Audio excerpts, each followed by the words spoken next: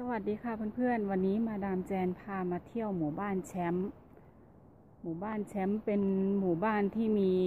ศิลปะอะไรอย่างเงี้ยค่ะ เดี๋ยวเราจะพาเพื่อนๆไปดูกันนะคะ ไปกันค่ะ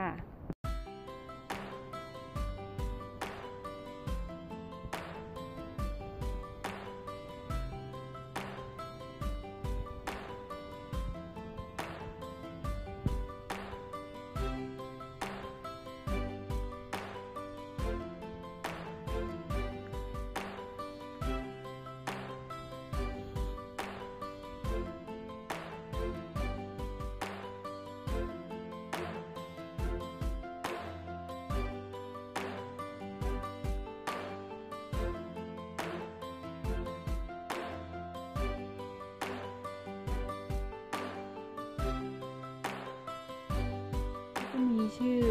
คนทำ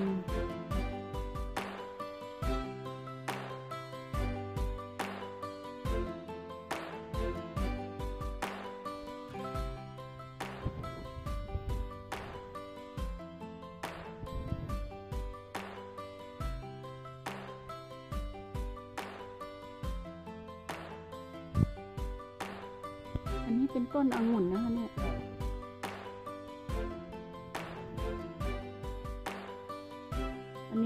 ับเปิดขวดไวน์อันนี้ไม่ใช่ไม่ใช่เปิดขวดไวน์จริงๆนะคะแต่เขาทำเป็นศิลปะ มีชื่อทุกอันเลย มีชื่อคนทำ